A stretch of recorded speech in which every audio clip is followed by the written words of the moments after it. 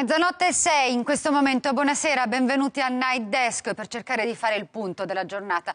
Giornata che però si chiude con una bruttissima notizia, la morte di Nelson Mandela, Madiba. Aveva 95 anni, era malato da tempo e quindi da tempo ormai non si vedeva in pubblico, però insomma è una di quelle notizie che scioccano, che rattristano sicuramente tutto il mondo. Mandela probabilmente lo ricorderete, premio Nobel, Nobel per la pace nel 1993, ma soprattutto è un uomo che ha passato 27 anni in prigione per difendere i propri ideali. È stato arrestato nel 1964 ed è stato liberato nel 1990 e soprattutto è colui che è riuscito in Sudafrica a evitare che eh, la fine dell'apartheid significasse anche eh, un bagno di sangue eh, ha parlato di pacificazione, è stato una sorta di Gandhi nero, insomma è stato tante cose Nelson Mandela. Noi vogliamo eh, ricordarlo questa sera, abbiamo un servizio che ha preparato per noi Paola Mascioli e che vi vogliamo mostrare, dopodiché vi faremo vedere quali sono le reazioni nel mondo, perché ovviamente eh, la scomparsa di Mandela, eh, di cui si è saputo circa un'ora e mezzo fa, come vi dicevo, ha colpito davvero tutti. Il servizio. Aveva il destino nel nome quel bambino nato nell'estate del 1918. Il padre, un capo del clan Madiba, lo chiamò Roli Lala, che in lingua sciosa vuol dire attaccabrighe. Ma durò solo 17 anni il maestro della scuola missionaria impose al piccolo un nome inglese, Nelson. Per essere educato al mestiere del padre, consigliere reale, fu mandato a studiare legge in una università per neri, ma per evitare un matrimonio combinato Nelson scappò a Johannesburg. Fu lì che conobbe la dura realtà di segregazione che neri, meticci e indiani vivevano in tutto il Sudafrica. Con l'amico Oliver Tambo aprì uno studio legale per assistere i perseguitati e nel 1944 fondò la Lega Giovanile dell'African National Congress. Quattro anni dopo, con il solo voto dei bianchi, il filo nazista National Party di Daniel Malan vinse le elezioni. La popolazione fu divisa su base razziale. L'apartheid prendeva corpo. Mandela, ispirato ai principi di Gandhi, che aveva vissuto in Sudafrica, organizzò campagne di disobbedienza civile e nel 1952 fu eletto vicepresidente dell'ANC. Nel 60, durante una manifestazione nella township di Sherpeville, la polizia sparò sui manifestanti, ne uccise 69. Il massacro spinse Mandela alla clandestinità e ad abbandonare la non violenza. Dopo un anno il braccio militare dell'ANC iniziò le azioni di sabotaggio. Nel 62 fu arrestato e condannato a cinque anni. Un successivo processo lo consegnò all'ergastolo. Si aprirono le porte di Robben Island. Lo attendevano 27 anni di reclusione, durante i quali non ha mai smesso di lottare. Nel frattempo l'apartheid aveva portato il Sudafrica all'isolamento internazionale e a metà degli anni Ottanta iniziarono negoziati segreti. Dopo due anni di incontri col presidente de Klerk, l'11 febbraio del 90 Mandela tornò libero. Lo aspettava un mondo nuovo e tra la folla che lo acclamava moltissimi bianchi. Con de Klerk nel 93 vinse il Nobel per la pace. E nel 94, le prime elezioni multirazziali della storia sudafricana, Mandela divenne il primo presidente nero con un compito immenso, riunire il paese cosa che in parte gli riuscì con la Commissione per la riconciliazione nazionale e una politica di pacificazione che passò anche attraverso lo sport più bianco che ci fosse in Sudafrica, il rugby. È stato il simbolo della lotta all'ingiustizia, il padre nobile dell'Africa postcoloniale, l'unico dei liberatori del continente a rifiutare il secondo mandato. Nel crepuscolo della sua vita ha preferito dedicarsi alle cause umanitarie come la lotta all'AIDS, piaga nazionale che gli ha portato via un figlio. Ora che se n'è andato e il mondo lo piange, si guarda al suo paese, che lui cercò di rendere arcobaleno, e si teme che i mai sopiti rancori possano riesplodere. Allora, questo era Nelson Mandela, Sonia Mancini in studio con noi per la redazione Esteri Economia. Buonasera, accanto a lei presento già anche Franco, Franco Rina per la redazione politica e poi i nostri ospiti ai quali daremo fra un attimo la parola. Onorevole Noi parleremo Davide. solo di vivi. Come? Noi parleremo solo di vivi dopo Mandela. Con, con il massimo rispetto, Franco, per eh, Mandela, ti prego. Davide Zoggia, PD, buonasera. Buonasera a voi. Senatore Carlo Giovanardi, Nuovo Centro Democratico. Buonasera. Sonia Mancini, dicevamo... Facciamo le centrodestra. Nuovo centrodestra. Io continuo a sbagliarmi ed è la seconda volta che ho questo lapsus e qualche cosa vorrà dire. Eh, torniamo, concentriamoci sì. invece su Mandela, ancora per qualche istante. Dicevamo tantissime le reazioni nel mondo, in Ovviamente. particolare una. Allora, ne diciamo una per prima, Ban Ki-moon. Eh, sono, sono, profondamente rattristato di apprendere della morte dell'ex presidente sudafricano Nelson Mandela. Eh, è stato un grande uomo, un gigante per la giustizia e fonte di ispirazione per l'umanità. E poi, se sei d'accordo, mi aggancio perché poi ritorneremo sull'ambito politico. Invece c'è un commento fatto da un politico italiano che in questi giorni. No, appunto... io voglio sapere di Obama. Obama, benissimo. Io voglio sapere di Obama perché è lui che ha sempre cosa. avuto Nelson Mandela come nel faro, cuore, come, nel cuore. come, cuore. Nel suo allora, Pantheon ideale c'è sempre stato eh, Mandela. Nel e suo quindi... discorso diciamo, di, di, condoglianze il presidente eh, americano Barack Obama in diretta televisiva eh, ha detto che non può immaginare la sua vita senza la figura di Nelson Mandela e poi lo ha citato, ha citato Mandela che cosa diceva quando ancora era in vita e ha detto eh, Mandela diceva ho combattuto contro il dominio dei, dei bianchi e ho combattuto contro il dominio dei neri. Ho amato l'ideale di una società democratica e libera in cui tutti possono vivere in armonia e con pari opportunità. È un ideale per il quale spero di vivere e che spero di raggiungere. Allora Obama ha detto Mandela ha vissuto per questo ideale e lo ha realizzato.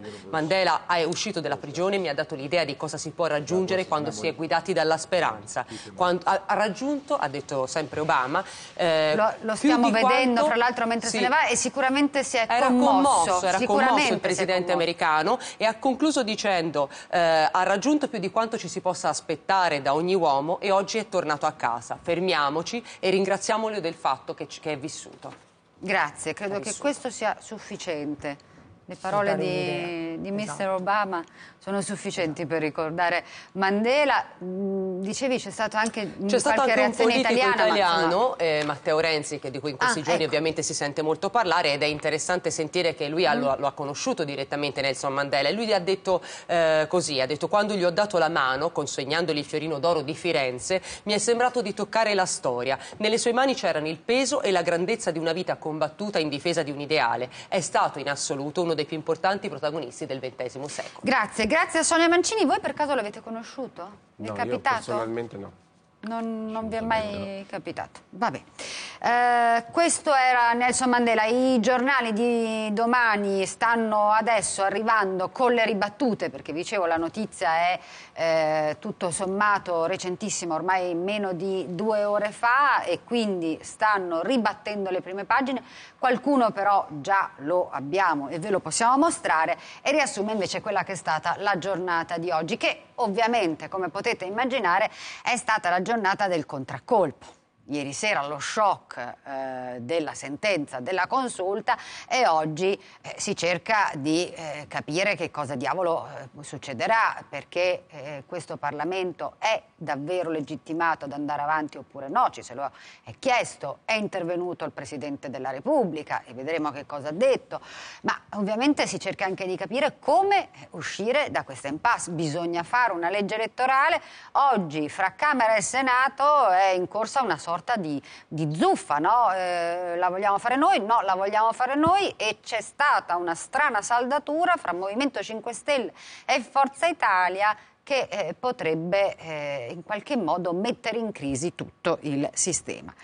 Allora andiamo a vedere come appunto ce la raccontano i quotidiani, rapidissimamente partendo dal messaggero. Il messaggero, lo vedete, ha comunque la fotografia e la notizia di Mandela, ma il primo titolo è dedicato ancora alla legge elettorale, Così si cambia. C'è un'intervista a Dario Franceschini, ministro dei rapporti con il Parlamento, che dice dopo la consulta proposta del governo per il doppio turno. Dunque si concretizza a sentire almeno il ministro Franceschini l'ipotesi che ci possa essere eh, un intervento appunto del governo perché il Parlamento, sia esso Camera o Senato, non è stato in grado di fare ciò che avrebbe dovuto fare. E poi ecco qua le parole del Presidente della Repubblica che dice Parlamento legittimo no al proporzionale, questo scontro che vi segnalavamo fra Camera e Senato. Eh, andiamo avanti, l'unità, eccola qua, eh, carica i toni ed è la vendetta del Porcellum, scontro fra i partiti dopo la sentenza, eh, la, le parole del Presidente che dice che appunto il Parlamento è legittimo ma la riforma è un imperativo. E poi l'allarme di Renzi. E un dossier ci segnala eh, con 11 risposte per capire cosa succederà e eh, in realtà anche un'intervista a un costituzionista Capotossi che dice le Camere sono a rischio perché la sentenza della Corte potrebbe essere retroattiva. Eh, Andiamo avanti, vediamo qual è il titolo del giornale. Ieri era molto lugubre, oggi dalla farsa al caos, Parlamento decaduto e ecco qua viene segnalato questo asse Berlusconi-Grillo sulla legge elettorale per poi andare al voto. Dopo il giornale vi facciamo vedere libero. Via al Porcellum restano i maiali. I maiali sono quelli che questa mattina sono stati portati da Coldiretti in piazza Montecitorio per protestare eh, contro eh, le contraffazioni del Made in Italy. Ma intanto appunto il gioco di parole è questo e il libro dice bisogna votare subito. Andiamo a vedere l'altro quotidiano Eccolo qua, invece il Sole 24 Ore che dà notizia ovviamente di questa vicenda, ma la notizia principale per il Sole è una notizia economica e ha a che vedere con le parole del governatore della Banca Centrale Europea, Draghi, che oggi si è espresso il Presidente, che ha detto priorità all'economia reale, che sembra una banalità, ma detta da lui invece ha un certo senso, perché Draghi ha fatto un po' un mea culpa ha detto pronti a immettere nuova liquidità solo se va a imprese e famiglie, cosa che non era invece successa un paio di anni fa. Ancora l'ultimo quotidiano che vi mostriamo, eh, eccolo qua, no, il penultimo, anzi è la Padania, perché eh, ci sono le primarie anche della Lega, quindi vengono annunciate lo scontro fra Salvini e eh, Bossi, che eh, dice domani le primarie, nel senso sabato ovviamente e l'ultimo invece dovrebbe essere l'avvenire, quello che abbiamo, eccolo qua, con un rapporto shock che è stato presentato in Europa oggi, Eritrea, figli venduti, donne e bambini nel traffico di esseri umani, un rapporto di cui si è occupato avvenire. Allora, dicevamo, eh, il presidente napoletano, napolitano è intervenuto e Franco, anzi su, Napolitano, ecco, a era Napoli. a Napoli, giusto? È intervenuto per fare sì. un po' di chiarezza. l'ha fatto abbastanza con toni molto duri, insomma, mm. molto precisi. sentiamolo magari. Lo sentiamo sì, anche, va bene, subito, rapidissimo, sì. dai. Finalmente la riforma elettorale è giudicata necessaria da tutte le parti. Diventa ormai imperativa tale espressione di volontà, attenta a ribadire il già sancito superamento dal 1993 del sistema proporzionale e a ribadirlo insieme con la introduzione di modifiche costituzionali per quel che riguarda almeno il numero dei parlamentari e il superamento del bicameralismo paritario. Ecco, poi ha aggiunto un'altra cosa, poi mm. mi fermo, che a me ha colpito abbastanza, perché ha detto anche diventa imperativo ribadire il superamento del sistema proporzionale. Ecco, Quindi cioè, dà un'indicazione. Eh, sembra un'indica, un, un'indicazione. Che ne pensa? Cioè, non, la, non, la, vede come un'invasione?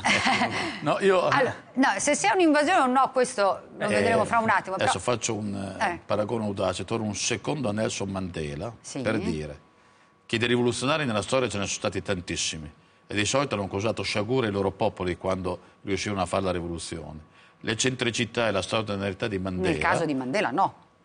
Il fatto straordinario, forse irripetibile, che è stato un rivoluzionario che poi ha dimostrato saggezza, ponderazione, moderazione, pacificazione nell'interesse del suo popolo. Adesso faccio un salto all'Italia di oggi, mm. vedendo i titoli dei giornali. Secondo me abbiamo bisogno anche noi dei Mandela della situazione, cioè di persone che abbiano non incendiari, no? titoli incendiari, ma la consapevolezza, come ha detto Napolitano, che non è che dobbiamo fare delle cose straordinarie, noi abbiamo un anno di tempo davanti e ci vuole, dopo la sentenza della Corte indispensabile, per fare esattamente quello che il capo dello un Stato ha detto. Un anno di tempo, senatore? Beh, scusi, il Napolitano ha detto bisogna A, rifare la legge elettorale, con un premio di maggioranza o comunque sistema maggioritario non proporzionale puro. Bisogna diminuire il numero dei deputati, cosa che abbiamo promesso, era stata fatta, poi il referendum non l'aveva fatto passare, ma è un'aspettativa comune, e toccare il bipolarismo quello che facendo votare in maniera diversa Camera e Senato e facendo fare le stesse cose più volte eh, rende il sistema ingovernabile. Quindi, Quindi lei fare... è della scuola che in realtà il governo scuola. in questo modo si rafforza Scusi, e si blinda, è... perché c'è invece come... Scusi, non è una scuola.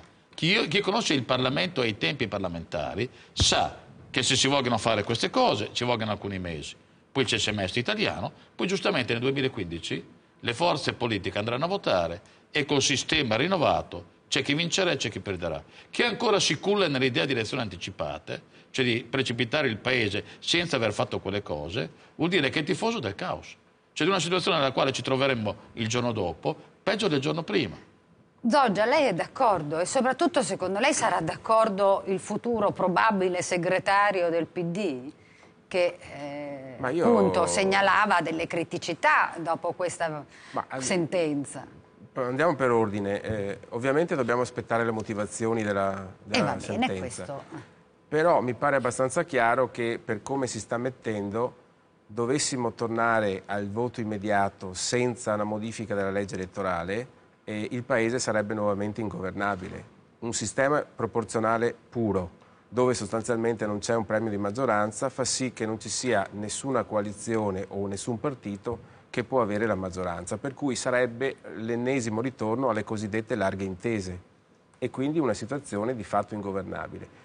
Credo anch'io che quest'anno... Ma abbiamo... se si salda eh, questa diciamo, eh, coalizione per ora assolutamente ipotetica fra eh, Forza Italia e il Movimento 5 Stelle e una parte del suo partito non, che l'ha chiaramente fatto capire di voler eh, andare presto alle elezioni, lo stesso ma non sarà così. Eh, cioè, adesso, ehm, voglio dire... Civati per esempio è uno che dice andiamo a votare presto, no? Vabbè, il governo ma, deve eh, cadere, potrebbe succedere... No, il suo partito è determinante sì, in questo ma senso. allora il mio partito ha tanti... E, ha e tanti... ha dimostrato di non essere proprio unitissimo nei Il mio partito eh. ha, tanti difetti, mm. diciamo. Mm. Eh, però eh, lunedì avrà un segretario e nei prossimi giorni avrà un nuovo gruppo dirigente. Ed è un partito che è abituato a discutere anche animatamente, ma poi assumere delle decisioni.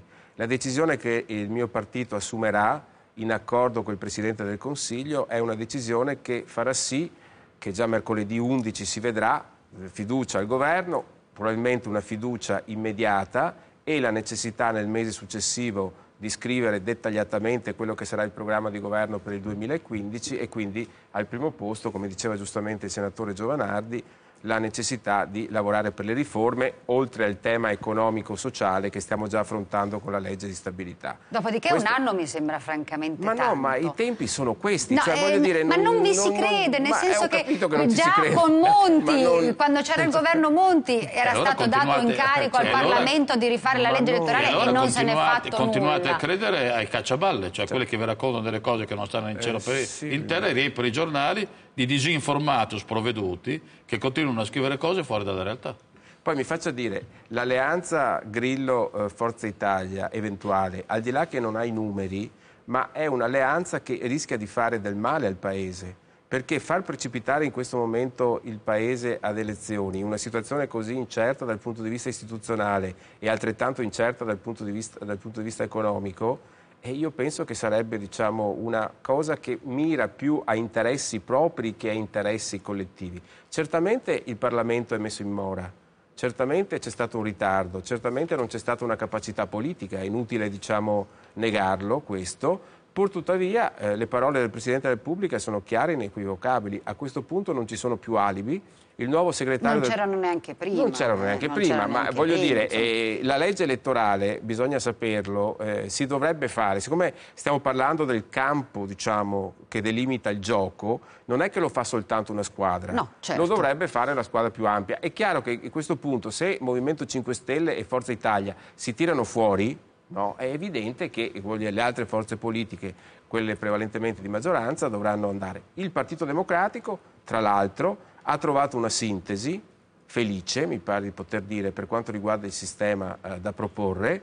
Ora, io avevo sentito Alfano, letto di Alfano due giorni fa, che mi pareva che sul doppio turno eh, avesse in qualche maniera diciamo, aperto. Oggi ho visto un titolo adesso eh, che dice che invece insomma, sul, insomma, doppio turno secondo me è il sistema migliore. Purtuttavia ci devono essere due condizioni sulla nuova legge elettorale assolutamente diciamo, indispensabili. La prima che alla sera si sappia una volta che si aprono le urne, chi governa il Paese per i prossimi cinque anni. E la seconda è che i cittadini scelgano direttamente i propri parlamentari. Queste sono le condizioni, diciamo, per cui serve il premio di maggioranza, che non potrà essere come quello che c'è attualmente, e serve anche un sistema, preferenze o doppio turno di collegio o insomma troveremo il modo per cui gli elettori scelgano direttamente i propri rappresentanti. Allora, nel frattempo mi hanno portato anche la prima pagina del Fatto Quotidiano, la vogliamo guardare insieme, se la regia ce la fa vedere. Eccola qua, vedete quello che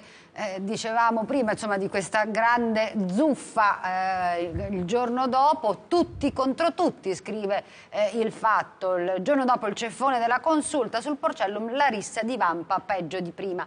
Camera e Senato litigano su chi debba discutere una riforma elettorale che ancora, peraltro, appunto, non esiste.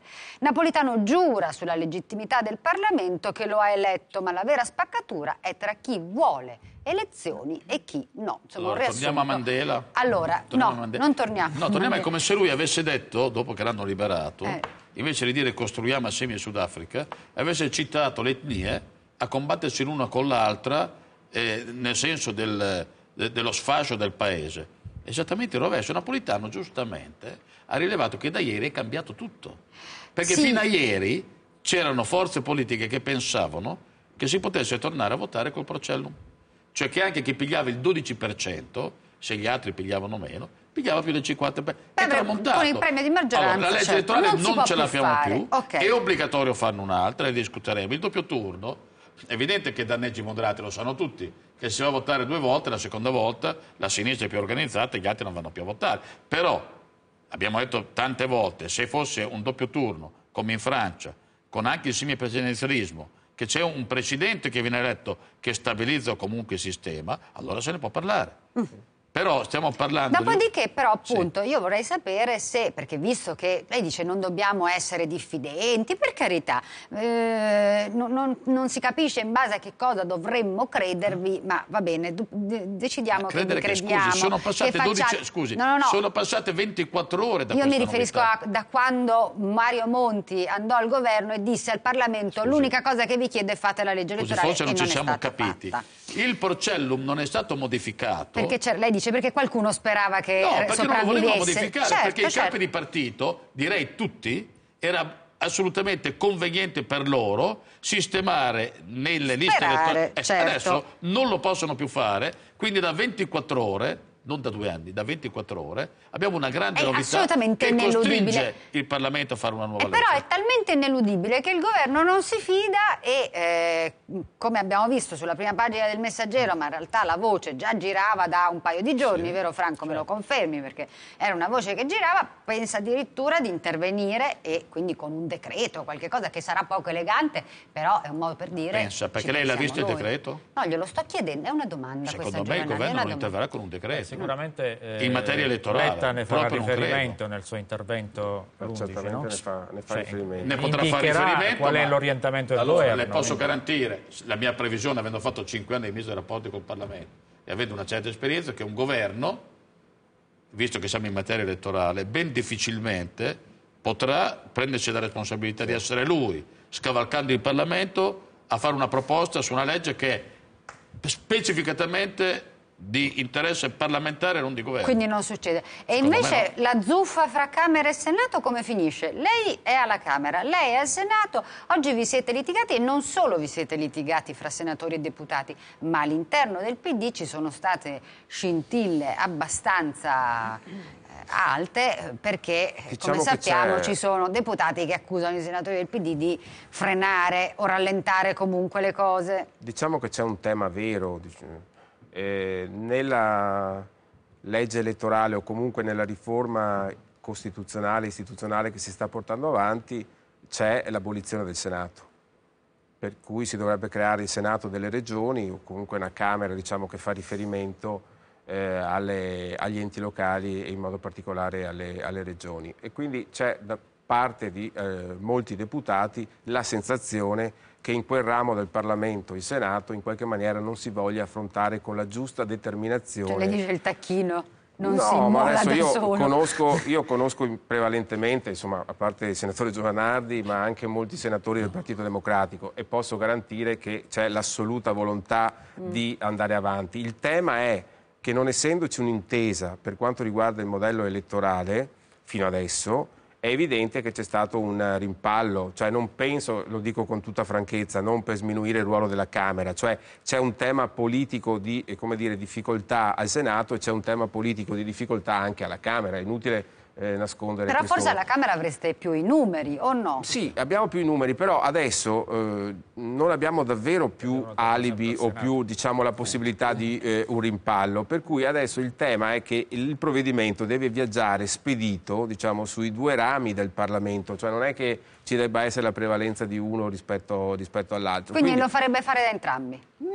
No, non è che lo faccio fare a entrambi. Dico che eh, in questo momento è stata assegnata alla eh. Commissione Affari Costituzionali Istituzionali del Senato eh, la riforma della legge elettorale. E si sono riuniti anche ieri, se non vado errato. un po' di tempo, no? Sì, eh, cioè okay. adesso di fronte a, a questa diciamo, uh, novità, di fronte al fatto che noi domenica svolgiamo le primarie e quindi già all'inizio di settimana prossima ci sarà il segretario insediato, avremo una riunione di gruppi parlamentari col nuovo segretario martedì in previsione della fiducia di mercoledì 11 e io credo che il punto principale, eh, non vorrei dire l'unico, ma il principale sarà quello. Eletta nel discorso diciamo, per la rinnovata fiducia che farà l'11 probabilmente metterà al primo punto la riforma elettorale. Va bene. No, allora, sinceramente eh... mi sfugge la materia del contendere perché nel bicameralismo perfetto che abbiamo la Camera può fare quello che vuole, ma poi lo deve passare al eh, Senato. Certo.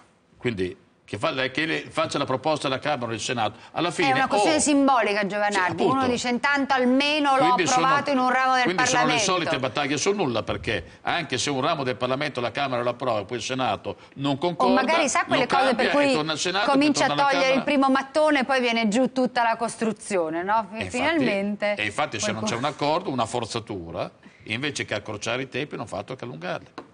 Va bene, allora io fra pochissimo devo dare la pubblicità. Prima di dare la pubblicità però voglio fare vedere un attimo, perché è vero che lei dice un anno di tempo, non si vota, però intanto voi per stare sul sicuro, voi del nuovo centrodestra oggi, avete presentato il vostro simbolo elettorale. Franco, ce lo, ce lo racconti? Eh, ci sono le europee. Vediamolo. Eh. eh. Vediamolo, è un simbolo che non ha un nome all'interno della, della cornice. Chissà, ecco, la, eccolo, eccolo qua. Qui. NCD e Nuovo Centrodestra. eh? Sì, non ha un nome di leader, dico. Ah, non no. ha il nome del, di Alfano, non ha il nome di Giovanardi.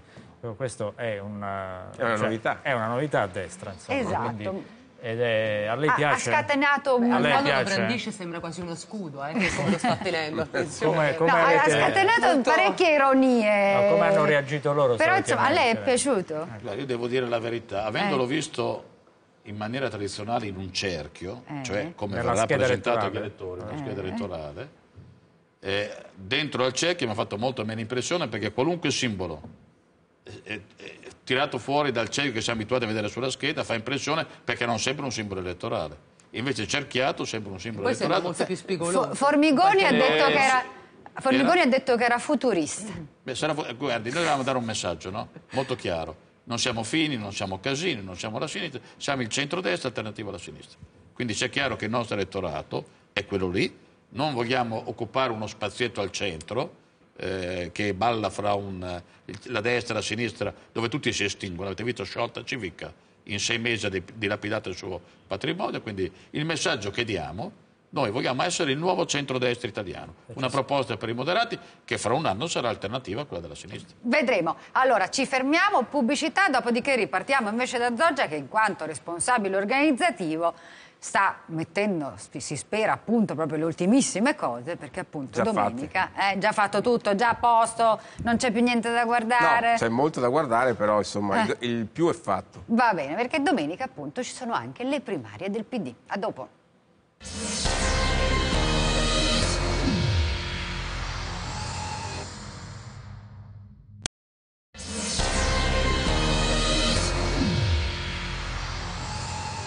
Mezzanotte 41 in questo momento. Quest'anno praticamente non se ne è parlato delle regole per votare alle primarie del PD, al contrario di quello che era avvenuto l'anno scorso, vero Davide Zoggia, responsabile dell'organizzazione per l'appunto del PD l'anno scorso, ormai sapevamo nel Hanno dettaglio tutto. Tanto prima. Hanno litigato esatto. tanto prima. Ma siamo temprati ormai, diciamo. Stavolta è più facile, è più semplice, non è necessario preregistrarsi, non è necessario fare niente. Chi vuole si presenta sì. al proprio gazebo, giusto? Sì, in realtà la preregistrazione c'è ancora fino sì, a non domani. è obbligatoria. No, finora ah. abbiamo avuto... è obbligatoria per i sedicenni. I sedicenni eh, devono registrarsi entro domani a mezzogiorno. Perché il sedicenne non ha la tessera elettorale. Perché il sedicenne non ha la tessera elettorale, quindi teoricamente nella giornata di domenica potrebbe andare a votare in 20 seggi diversi. Sarà non interessante avendo... vedere quanti sedicenni fanno Ma io credo ce ne sarà un numero considerevole. Quindi abbiamo già 80.000, 90.000 preiscritti complessivamente. Basterà recarsi al seggio domenica con la tessera elettorale e documento di identità eh, pagare 2 euro se non si è iscritti, se si è iscritti invece non si paga e molto semplicemente si firma una lettera di intenti che è sostanzialmente la lettera di adesione al Partito Democratico, non la lettera di iscrizione, certo. ma un'adesione. Adesione ideale. Eh, ideale, mm. diciamo, e poi si può votare. Io credo e con che... i 2 euro si ha anche l'abbonamento all'unità? No, no quello perché... solo con la preiscrizione. Ah, ecco. Con la preiscrizione perché con la preiscrizione si pagano 2,50 euro e si ha l'abbonamento diciamo, ai quotidiani che fanno riferimento al Partito Democratico. Unità Europa? Eh, left. Eh, Quindi conviene quasi. Conviene, ma io penso che nonostante quello che si sta dicendo in questi giorni la partecipazione ci sarà. Sarà sì, una eh? partecipazione significativa, non dico cioè, esattamente... se la sente di sbilanciarsi e dirci no, un numero? No, non me la sento, nel senso che no, i 3 milioni e 2 diciamo, della, del 2012 al primo turno sono complicati, mm. però in questi ultimi giorni si sta respirando un'area di, di ritorno diciamo, al gazebo, quindi penso che eh, ci sarà una partecipazione molto ampia, tenendo conto che eh, la percezione corretta da parte degli elettori che andranno al gazebo è che non si sta votando per il Presidente del Consiglio questa eh certo. volta, ma si sta votando per il segretario del partito, quindi evidentemente è una competizione è che diversa, ha, che ha diciamo, dei, dei, dei confini, però nonostante questo il fatto di poter partecipare alla scelta diciamo, di un leader, perché comunque chiunque vincerà sarà un leader eh, del, partito, del, partito, Democratico, insomma credo sia un'esperienza entusiasmante. Quanti gazebo mettete quindi alla fine? Alla fine dovrebbero essere 8.800. E l'avete risolto anche nei posti dove avete dovuto annullare i congressi perché c'erano state sì, storiacce sì. di tessere sì, che non si capiva... Facciamo anche a Salerno. un brutto capitolo. Ma guardi, è, è, stato un brutto capitolo, però eh, capisco anche il lavoro che, che fate, che mediatic mediaticamente ovviamente è emerso in modo particolare eh, quelle situazioni, ma sono state veramente poche. Nella stragrande maggioranza eh, dei, delle federazioni, dei eh, diciamo, luoghi dove si è votato, tutto si è svolto regolarmente, eh, tenendo conto che noi abbiamo fatto in due mesi quello che solitamente si fa in 8-9 mesi. Abbiamo eletto i segretari di circolo, i segretari provinciali, svolto la convenzione provinciale in tutte le federazioni. Ora ci sono le primarie, quindi insomma abbiamo rinnovato il partito a livello territoriale per il 95% perché tutti i segretari provinciali, la stragrande maggioranza, sono nuovi, per cui mi pare che insomma, sia un'operazione eh, decisamente significativa, insomma, tenendo conto che il nostro partito si basa, si basa diciamo, quasi esclusivamente su quelle che sono le, le, dirigenze locali, quindi approfitto anzi della vostra trasmissione per ringraziare eh, i militanti, gli iscritti, i dirigenti, i simpatizzanti. Vabbè, noi fra seguiremo in diretta questa, eh, con uno speciale di Enrico Mentana domenica sera questa consultazione, quindi poi vi racconteremo.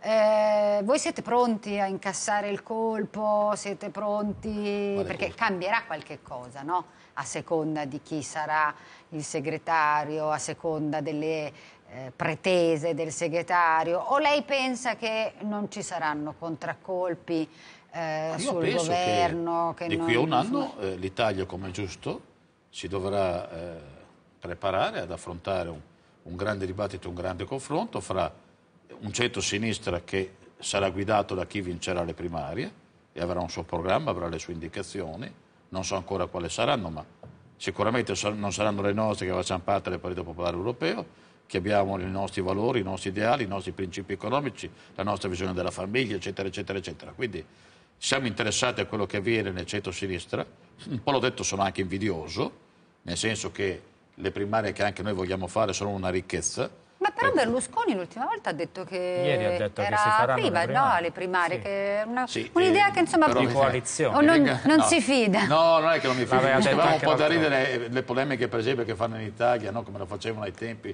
dei congressi della DC quando in un posto o nell'altro ci possono essere cose che non vanno. Certo che nei regimi totalitari, poiché uno solo imbroglia, non ci sono problemi, no? Non ci sono po- possibilità locali e tutto. No, allora, voglio dire, Berlusconi, sì, e la ragione per cui noi abbiamo fatto il, il nuovo partito no? è che noi vogliamo fare primarie vere, nel senso che chi vince comanda.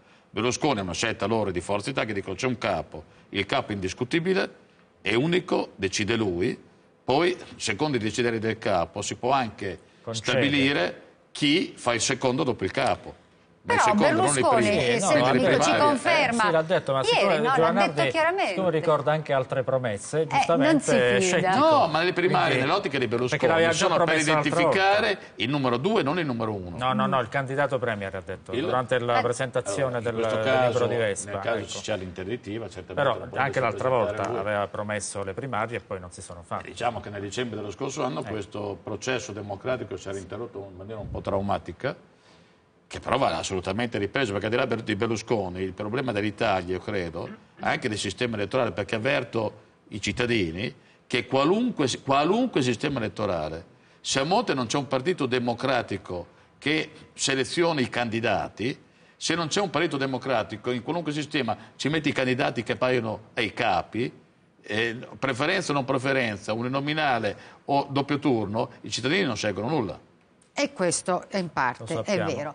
Lo è ricordiamo. vero. Allora, Sonia Mancini, ritorniamo invece, eh, perché Sì. abbiamo parlato di politica, di come ci piacerebbe, eh, ma eh, veniamo invece alla realtà. Sì. Perché oggi di nuovo numeri pesantissimi. La realtà non è tanto positiva come al Ecco. solito perché ci sono dei numeri abbastanza pesanti per quanto riguarda soprattutto gli incassi da parte del fisco. Eh, Oh. si, è rido- si sono ridotti in particolare oltre i 3 miliardi e 400 milioni di euro gli incassi relativi all'IVA. L'imposta sul valore aggiunto in pratica eh, si sono diciamo, diminuiti un pochino sui consumi interni Mm. ma soprattutto sulle importazioni. Cioè l'IVA se ne è incassata molta di calcolata dal primo di gennaio. Sì, quindi da- c'è dal primo gennaio fino a Quindi ottobre, tutto escludendo ottobre. in qualche modo, tenendo l'aumento dell'IVA che c'è stato di recente, che c'è da un mese. È, è incluso eh, eh, ovviamente, però, che c'è- però non è quello poco, che ha pesato per poco, davvero. Esattamente, c'è proprio un discorso legato ai consumi. Cioè Quindi a dimostrazione di una politica fallimentare. Esattamente, il rilancio, la crescita, questo sviluppo economico che per il momento sicuramente non ha ancora prodotto i propri effetti. Del resto è anche vero, lo diranno anche i politici che abbiamo oggi qui presenti, è chiaro che gli effetti di una crescita, di un rilancio eccetera sono sempre un pochino posticipati rispetto a quando Certo, si cominciano le misure, certo. però è chiaro che questi dati non, non rassicurano. Un ecco. secondo Giovanardi, Sì. perché Sì. vorrei far concludere, perché invece prima, mentre vedevamo i titoli eh, dei giornali, eh, il Sole 24 Ore metteva Parlava giustamente in evidenza le parole del Presidente della Banca Centrale Europea. Perché a proposito di questi finanziamenti che, dobbiamo dirlo, non sono ancora stati No, decisi, no. lui, Draghi, non ha detto sì, li diamo, però ha detto una cosa importante. Molto importante, siccome c'è il rischio deflazione, non solo l'inflazione non continua a crescere ma continua a decrescere, ma c'è proprio il rischio deflazione che vorrebbe dire una specie di blocco, una paralisi economica in qualche modo. Allora cosa ha detto Draghi? Ha detto questa volta se per caso tra le misure che adotteremo per cercare di aiutare l'economia, il rilancio e la crescita, fac- facciamo ancora come abbiamo fatto due anni fa, cioè eh, con la, la BCE cerchiamo di favorire e dare del denaro alle, alle banche, le banche saranno stavolta obbligate a dare questo denaro non solo a, diciamo, a tenerselo tenersele per cercare di guadagnare qualche di interesse Stato. sugli interessi, sulle Eh. valute eccetera, ma assolutamente dovranno darli, destinarli alle famiglie e alle imprese perché Se il ci- rilancio dell'economia passa per questo strumento. Non a caso oggi le borse sono andate male, soprattutto i Esatto. bancari, perché Esattamente, ovviamente perché l'idea di dover questo- dare un po' di timore. soldi, qualche prestito, subito li ha timore. fatti sentire male. Esattamente. No, dicevo, se ci riuscirà sarà una vera rivoluzione. Esatto. È quello che doveva lo fare, st- secondo me, già due anni fa. tutti, No, insomma. dico, secondo me Dica. siamo un po' un paese dei matti perché noi facciamo discorsi teorici, Voi sapete perché la Coldiretti era davanti a Montecitorio questa mattina, no? Per protestare, sì, perché vengono importati in Italia. Sì. Ma lo sapete che adesso il Parlamento ha proibito... Abbiamo anche le immagini, se la Ha proibito l'allevamento in Italia dei cani, dei conigli, e quindi dovranno vedere tutti da New York e dall'estero. Lo sapete che gli animalisti hanno distrutto tutti gli allevamenti di visoni, quindi il nostro Made in Italy, le pellicce deve andare a prendere all'estero. Lo sapete che per i maiali... Non è però solo lo sapete per i maiali e le galline ci sono eh, teorie sui diritti dei maiali e sulla gallina felice che sono tali per cui considerando l'allevamento un maltrattamento andiamo totalmente fuori mercato e quando i nostri allevatori avranno chiuso tutte le importazioni di canne arriveranno da paesi esteri dove non c'è controllo, non c'è benessere animale, allora io vorrei capire questo paese anche per lo sviluppo economico che cosa può fare.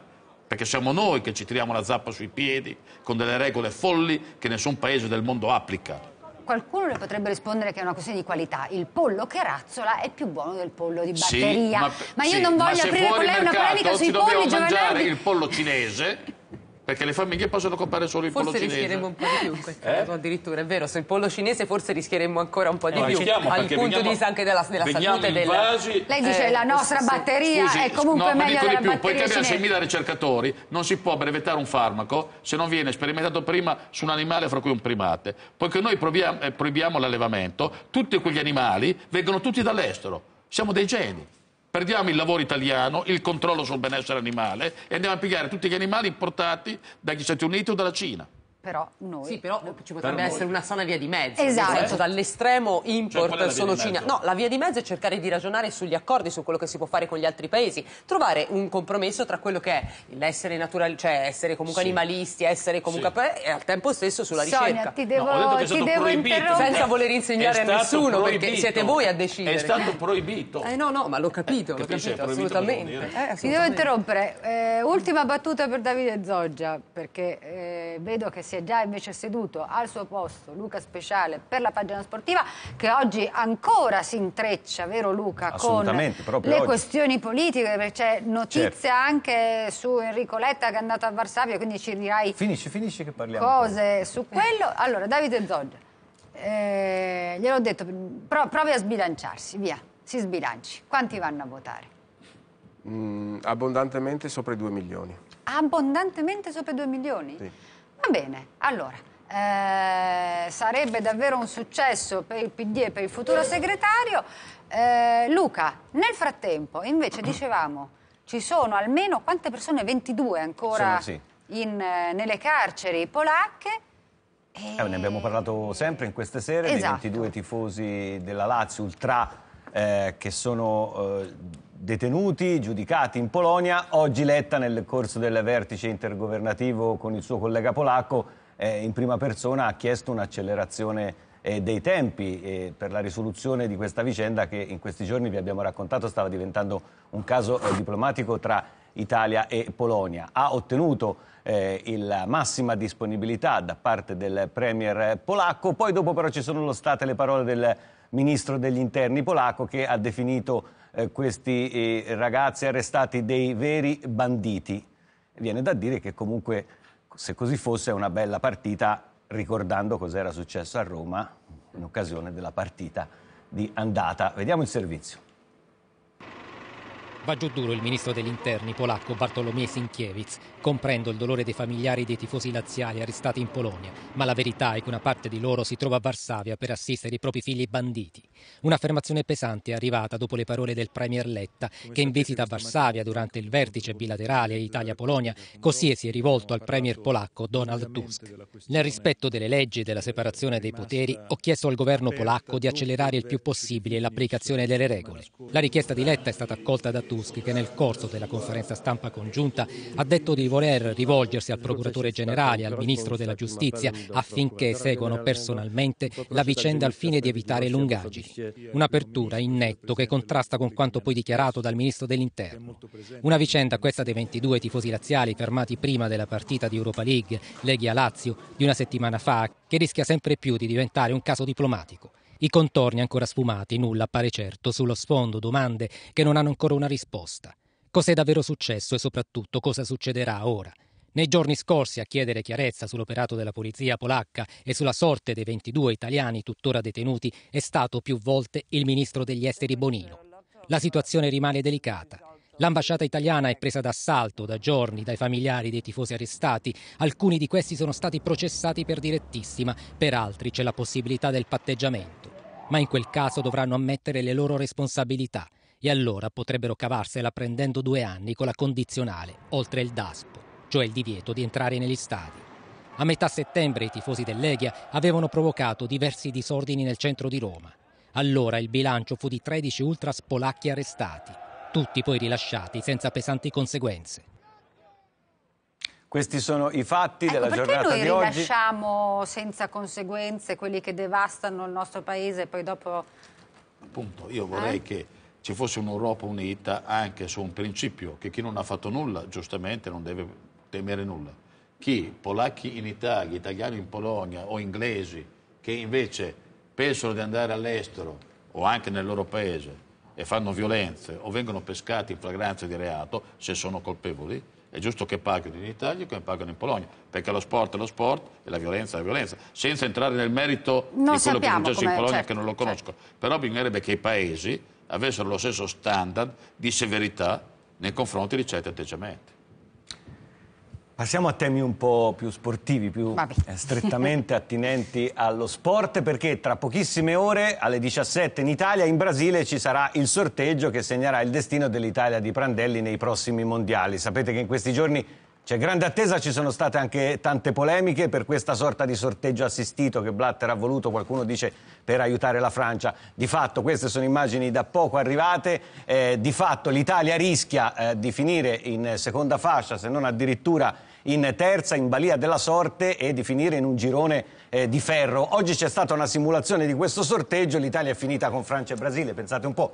Prandelli si è arrabbiato tantissimo, più che altro per questa simulazione non gli è piaciuto il giochino, soprattutto dice mi hanno riferito che siamo settimi nel ranking e quindi il criterio di questo sorteggio mondiale è tutto da eh, rivedere e quindi eh, staremo a vedere che cosa capiterà in sorte alla sua nazionale. Andiamo sulla prima pagina di Tutto Sport. Eh, che fa buona fortuna Italia, titolo per quanto riguarda ciò che succederà a Rio, dove si fa il mondiale con il sorteggio eh, degli otto eh, gironi. Eh, stasera a Bologna titolo centrale, la voglia di fuga della Juventus che può volare a più 6 con Pogba a centrocampo con Marchisio e Vidal per non far rimpiangere Pirlo, turnover in attacco pronti Quagliarella e Vucinic, sì perché la Juventus eh, gioca domani proprio perché poi martedì giocherà la partita più importante della stagione, quella a Istanbul contro il Galatasaray per proseguire nel cammino in Champions League. L'impegno di martedì prossimo in casa del Galatasaray deciderà il futuro europeo dei bianconeri, ma prima c'è da pensare all'immediata trasferta di Bologna per ribadire la supremazia in campionato e tenere a distanza la Roma, più immediata inseguitrice. Ovvio però come Antonio Conte distillerà con estrema cura uomini ed energie. Cercherò di, di mettere in campo la formazione che ritengo eh, più adatta, più giusta in questo particolare momento. Ecco. C'è da riempire il tassello lasciato vuoto dall'infortunio di Pirlo, indiziato numero uno Paul Pogba, che per la sua grande utilità potrà surrogare l'assenza del playmaker bianconero. Se uh, c'è una necessità, c'è un'occorrenza e ci si lavora uh, su uh, Pogba uh, in quella posizione, sono convinto che lui lo possa fare molto molto bene. Non è poi mancato un accenno alle polemiche sui cori offensivi intonati dai giovanissimi tifosi juventini nell'ultima sfida di campionato. Quando si trattano questi argomenti, come quello che, che si è trattato dei bambini, è facile fare demagogia, eh, retorica, eh, si fa di tutto. Dunque questo eh, Conte che ha sottolineato che c'è, secondo lui, accanimento nei confronti della Juventus per quanto riguarda anche l'ultima vicenda della polemica sui cori eh, dei bambini. Andiamo a vedere la prima pagina che è arrivata adesso della Gazzetta dello Sport con l'addio a Mandela, eh, campione dell'umanità, sotto la testata. Il titolo forte e la foto sono dedicate a Balotelli, pronto si dice a fare il papà, farà il test del DNA ma eh, di spalla, sorteggio da brividi, Prandelli non ci sta, europei mine vaganti, nel test Italia con Brasile e Francia, l'abbiamo detto, criteri da eh, rivedere. Approfittiamo della prima pagina della Gazzetta dello Sport per dire che in Coppa Italia la Sampdoria ha battuto il eh, Verona per 4-1, eh, Mihailovic ha la prima vittoria adesso eh, sfiderà la Roma. L'ultimo servizio riguarda un'altra notizia di oggi, un personaggio, Danilo eh, Di Luca, che è stato addirittura radiato dopo la squalifica per eh, doping dal Tribunale Nazionale Antidoping. Era eh, risultato positivo all'EPO il 29 aprile scorso, era anche eh, recidivo. Qualcuno dice il primo italiano, sicuramente il primo grande corridore ad essere radiato. Sono stato il primo tante volte, vuol dire che sarò il primo anche in questo, tanto era già scritto che dovevo pagare io per tutti. Così Danilo Di Luca, in un sussulto di vittimistico orgoglio, dopo la radiazione decisa per lui dal Tribunale Nazionale Antidoping. In realtà la memoria di Di Luca è corta e il killer di spoltore, come lo definivano i tifosi, non potrà nemmeno vantare questo triste primato. Basta scorrere il lungo casellario dei sanzionati della nostra Federciclismo per riscontrare almeno due radiati a vita precedenti, Domenico Quagliarello e Daniele Marziani, due gregari certo, non vincitori di Giri d'Italia o classiche del Nord come l'abruzzese, ma radiati prima di Di Luca. Al di là della primogenitura della vergogna comunque, resta la sentenza che accomuna Di Luca ai reprobi del ciclismo, Lance Armstrong in primis, e chiude ingloriosamente la carriera del ciclista, dopo la doppia positività riscontrata prima al Giro d'Italia 2009 e poi lo scorso maggio, con precedenti frequentazioni con medici anch'essi radiati dal CONI. Un CONI che da parte sua, nella speranza che Di Luca rinunci a ricorrere in appello, è davvero stanco del fango tirato addosso al ciclismo. Giovanni Malagò, solo poche ore prima della sentenza, aveva auspicato la fine dello sputtanamento del ciclismo, parole testuali del presidente. Una missione complessa che non può prescindere dal fare piazza pulita dei vari di Luca, ma non può prescindere nemmeno da far piazza pulita dei troppi sospetti che aleggiano sui suoi protagonisti. L'attenuante del così fan tutti, agitata da Di Luca fino ad oggi, è difficile da rigettare finché atleti semisconosciuti vincono massacranti corse a tappe a 42 anni, come Horner nella Vuelta, o dominano cronometro a medie da record dell'ora. Tutto per lo sport, Flavia. Grazie Luca. Allora Sonia, sì. ci sono notizie dell'ultima ora a proposito di allora, Mandela, abbiamo detto Solo riagganciandomi un attimo allo sport possiamo eh. dire che anche se Blatter, il capo della FIFA, ha detto che era una persona straordinaria, probabilmente uno dei più grandi filantropi del nostro tempo, è un mio caro amico, quindi lo ha ricordato in questo modo. Però abbiamo visto il suo impegno no, nel, esatto, nel rugby. filantropia. Eh, importante invece dire che avrà funerali di Stato ovviamente, certo. eh, il, nel paese è già stato indetto il lutto nazionale e soprattutto le bandiere saranno a mezz'asta in tutto il paese da oggi, quindi da venerdì, fino a quando saranno celebrate le esequie, che al momento ancora non si conosce la data, ma insomma eh, si saprà a breve. Va bene. Abbiamo finito. Va bene, grazie mille. Io prima di augurarvi la buonanotte vi voglio far vedere questa bellissima stella di Natale e ricordarvi che da domani, venerdì, eh, e fino a domenica, trovate queste stelle di Natale, che sono le stelle di Natale che finanziano la ricerca sulla leucemia e i mielomi per l'AIL nella maggior parte delle piazze italiane. Quindi avete l'occasione di fare un bellissimo regalo di Natale e ovviamente di finanziare anche la ricerca scientifica, che è forse la cosa più importante. Bene, è davvero tutto, è l'una e quattro minuti, io vi auguro la buonanotte.